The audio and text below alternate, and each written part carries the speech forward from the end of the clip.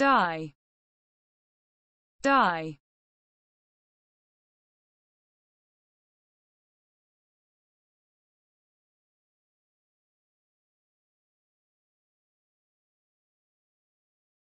Meaning two, twice a double, an occasionally used form of dis.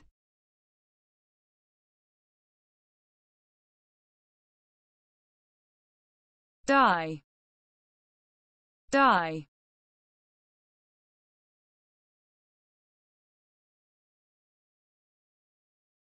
meaning two, twice a double, an occasionally used form of dis.